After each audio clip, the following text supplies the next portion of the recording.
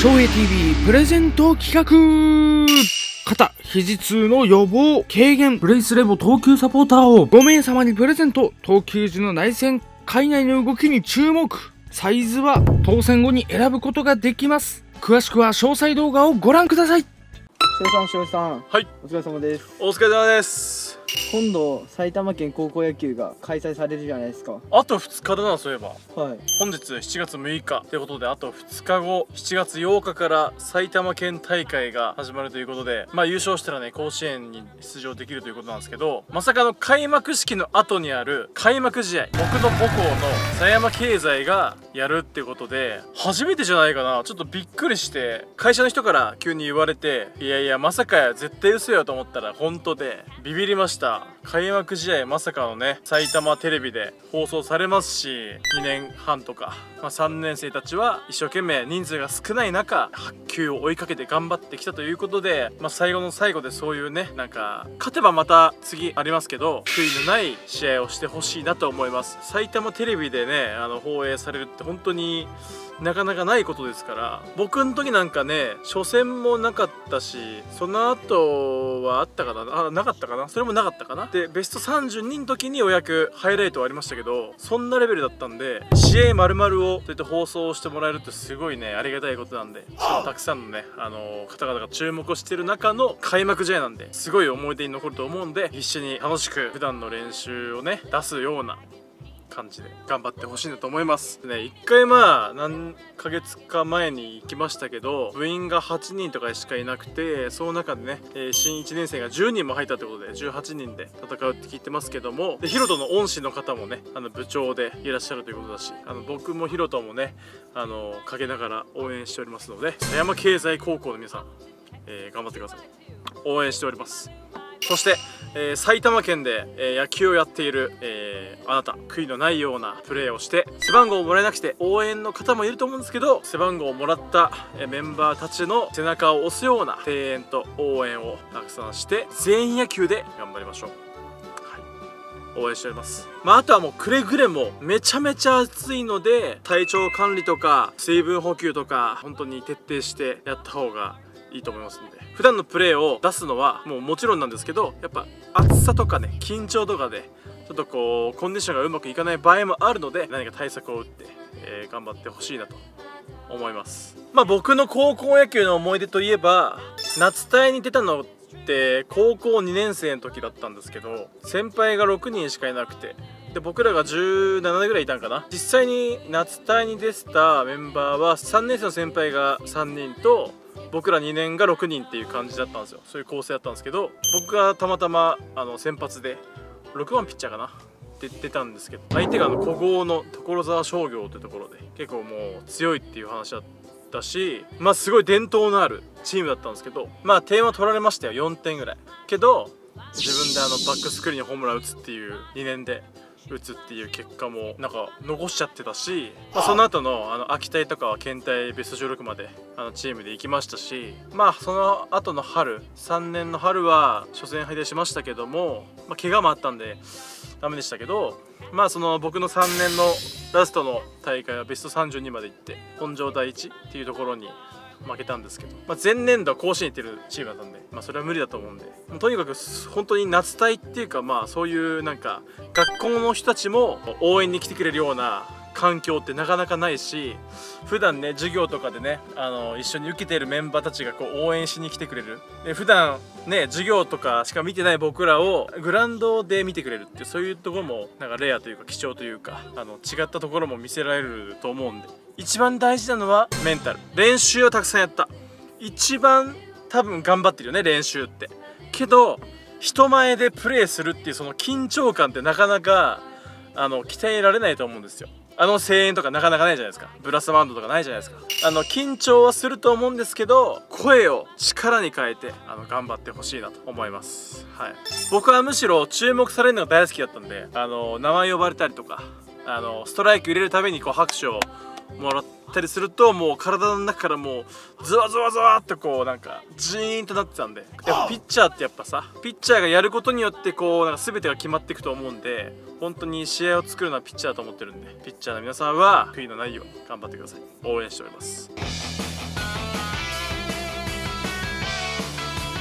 そしてね、あのー、翔平 TV 始めて7年か6年経ちましたけども新しく一眼レフの GH5M2 というカメラを購入して今カメラ回してます。多分これ初です。買ってから初回しで今あの母校に向けてのメッセージをお届けしております。やっぱねどうせやったらいい映像で出したいってところで追求して、えー購入しました。でパソコンの方もですね、えー新しくしましてずっとスペックが低かったんですけどもうスペック入れまくりハイスペックで、あのー注文したのですごくいいパソコンになりましたんで試合動画とかたくさんカメラアングルがあっても全然大丈夫なんでちょこちょことインスタに告知してますけども、えー試合動画とかそういったものを撮影と編集してあお届けしますよっていうそういうなんかお手伝いというかお仕事というか、まあ、普段僕らがやってるようなあの試合動画をあの皆さんのあの野球チームとか、まあ、思い出に残るような形にできたらなって思ってて僕自身が全然こう昔の学生時代の映像ほぼなくてその古いんでねあの今の時代の械じゃこう再生できないというのがあったりしてちょっとこれ悲しいなと思ってて。僕自身今 YouTube やってるから昔の映像も流したいなと思ったんですけどそれがね叶わなくて悲しいと思ってるんでなんかそういう思いを、えー今野球やってるみんな多分分かってないと思うんですけど将来的にやっぱ見たいと思うのよ。僕のちっちゃい頃は幼い頃は学生の頃は。っていうところであの映像があるとね10年前の俺はこうだったんだ。20年前はこうだったなっていうこう思い出に残る形に残るのでなんかこれはね将来的にやっぱね撮ってなかったらね20年後10年後見返したいなと思った時に見返せない思い出に浸れないっていうところもあるのでちょっとやっぱり僕らもあのお手伝いはもちろんするんですけど多少のあのこっちの方はかかってしまうんですけども思い出を撮っとく。いい映像見やすい映像にまとめるっていうところであといいカメラを使って何台も使って撮るってことで結構価値はあるんじゃないかなと思います。僕的にはねプレイしてる映像をねあのまとめてくれてコンパクトにまとめてくれて DVD やら SD カードに入れてそれを保存していつか見るってなってもすごくなんかいいんじゃないかなと僕は思うのでチームでやってほしいっていうのも OK ですしあの個人的にうちの息子のの映像をやってほしい。全然 OK だし料金に関してはまあ要相談ってことなんですけどまあそういうのをちょっとでもたくさんの野球人の方々になんか知ってもらってあの思い出として記録として残してもらえたらなってすごい思ってますので、まあ、どんな感じになるかは普段の翔平 TV のね試合動画を見ればわかると思うんですけどちゃんとこうストライクボールとかちゃんとしてますしカメラがいっぱいあるのでこのいいバッティングしたらこうねね2アングル3アングルもこう連続できたりとか結構そういうところで、あのー本当に見やすい映像を僕ら的にすごい作れてるなっていう感じがするのでもうそろそろ誰かのためになんかできたらなっていうふうに思ったので告知をさせてもらいました、まあ、僕のね母校の話をしたんですけどまあいい機会かな。試合動画っていうあの関係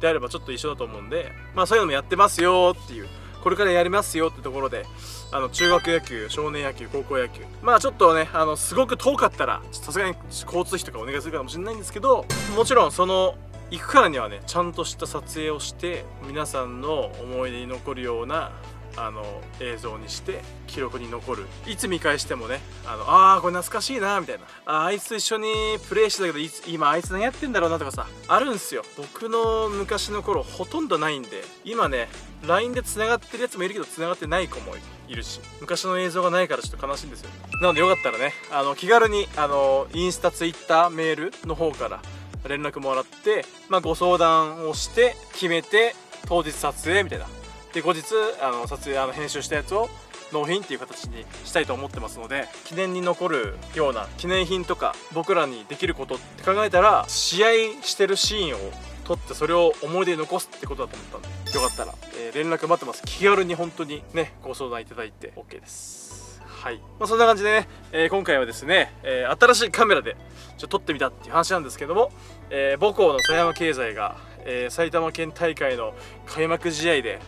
あのまさかの試合をするということなんでその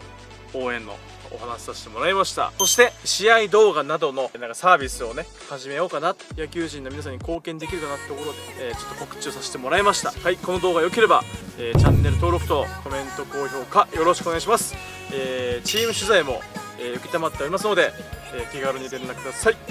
終わります。ありがとうございました。チャンネル登録コメントグッドボタンよろしくお願いします。それでは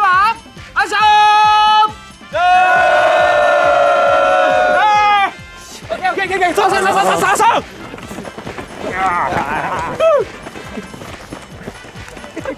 視聴平 TV2022 年 T シャツ販売1万人突破皆さん本当にありがとうございますこれ着て役やろうぜ